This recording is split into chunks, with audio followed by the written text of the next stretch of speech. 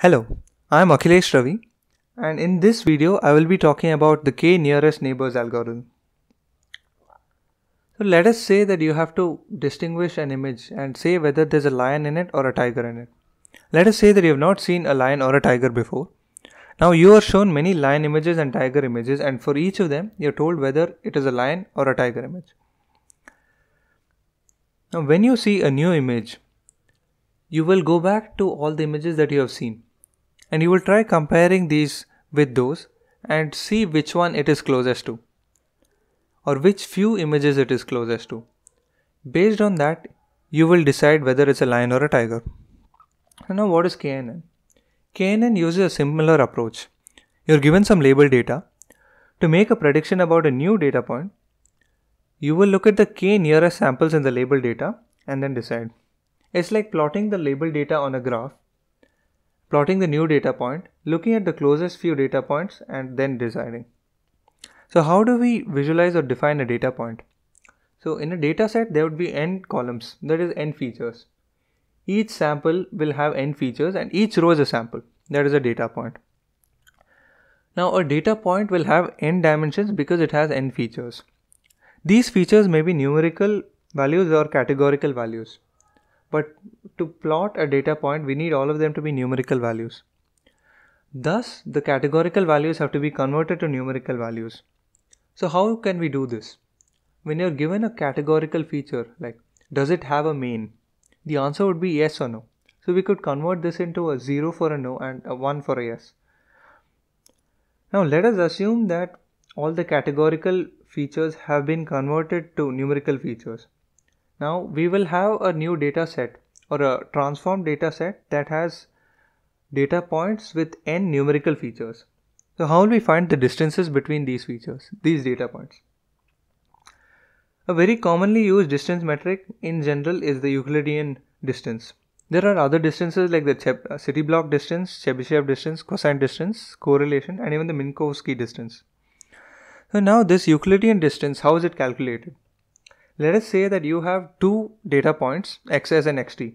So for each of these data points, you will take the difference of each feature or each dimension, square it, and then all these square add all these square distances and take the square root. For the city block distance, instead of doing that, you will take the absolute of the difference and add it. So a generalization of this is the Minkowski distance in which you raise the difference to a power of q and then you take the qth root qth root of the sum.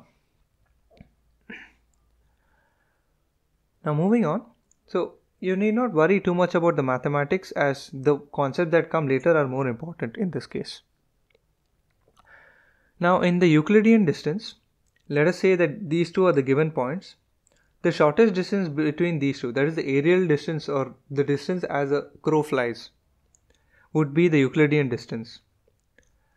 Now let us assume that this is a city with all the gray lines as roads and the white places buildings or city blocks. So now the direct path cannot be taken by a human who is going through the roads. Thus the human will have to walk through all the roads. So he or she will have to take the red, blue or yellow path. All these come out to be equal and they are called the Manhattan distance or the city block distance. Now the KNN algorithm. So the simplest form of the KNN algorithm is the one nearest neighbor form. So when a new data point is given, we look at the nearest neighbor, that is the red one, and we say that this has the same prediction as that one. Let us say that the red is lions and the green is tigers. So in this case, this will also be predicted as a lion. So what do we do if the prediction has to be a numerical type?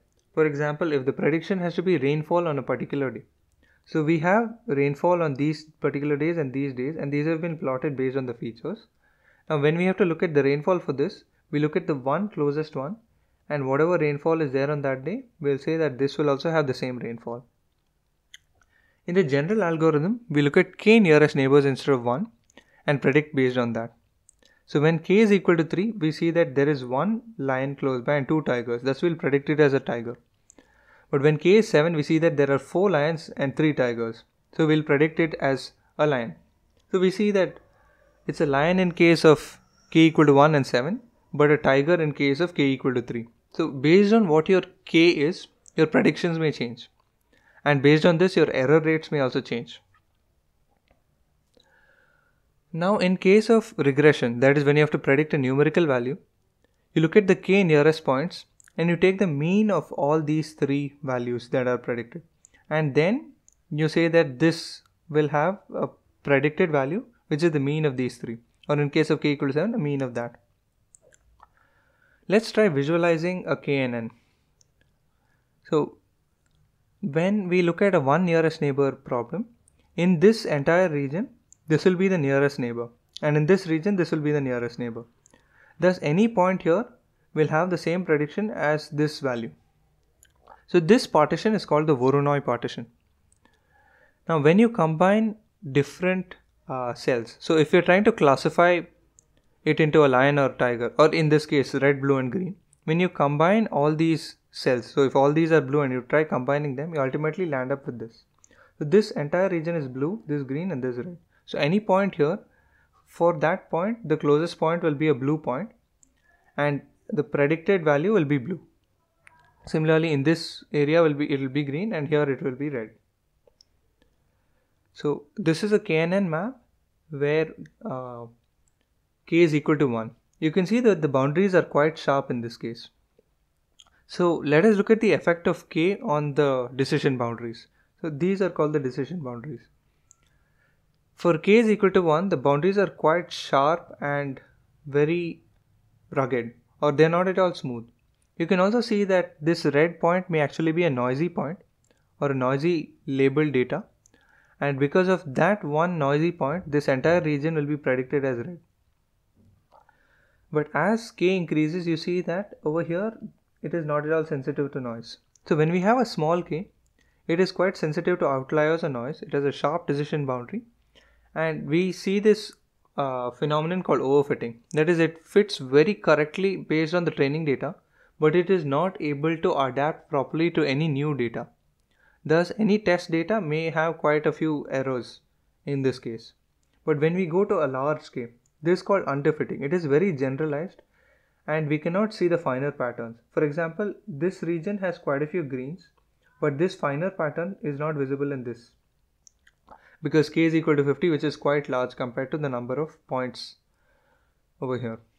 So in this case an ideal would be 4, uh, k would be either 5 or 10 so that to some extent uh, the prediction is quite sensitive to patterns but it is not too sensitive and it is not too generalized now in the training data we see that as k increases it does not seem as close to the training data thus the training error will increase so if you see here in this case there are many errors these this region is an error in terms of green. If a point comes, if we take the same labeled point, it will be predicted as red instead of green, which is an error. But for this, there will be zero error because uh, any point in this region will be a red. So if you take any training point, this I'm talking only about training error right now. But when you look at the test error, that is actually the more relevant error in this case because after the training period, you will only be getting test samples. So test error initially decreases and then after that it slowly starts increasing. This is because over here there is a case of overfitting and over here it is probably becoming quite stable but now because of underfitting it is starting to increase. So any point over here should ideally be green but it will be predicted as red thus the error and over here a point over here would either be uh, should either be blue or green but it will be predicted as red. Thus the test error will occur. But in these two they are looking at the patterns to some extent. Thus the errors will be low. Thus you see the low errors are somewhere here. Now some additional points about knn knn is considered as a lazy algorithm. Why so? So knn puts away the computation for later. During the training it has no computation at all but during the testing it has to compute each time a new test point is given. This is because when a new test point is given, it has to calculate the distance of that test point from each of the labeled data points. And then based on all that it has to give a prediction. Thus it has very low training time but for each test point it has uh, some amount of test uh, time for prediction. Now a weighted knn in the previous slides we saw that all points in the nearest k region all the nearest k points are considered to have equal importance or equal weight. Thus now when we are trying to predict something so if one label data point is closer to another uh, to the test point it should ideally have higher uh, value. Not ideally but in many cases it should have a higher value which is preferred thus we can give weights to each of the k points that is if a point is closer it will have a higher weight or a higher importance and determine the prediction to a higher extent compared to a point which is farther away among the k points Now, normalization.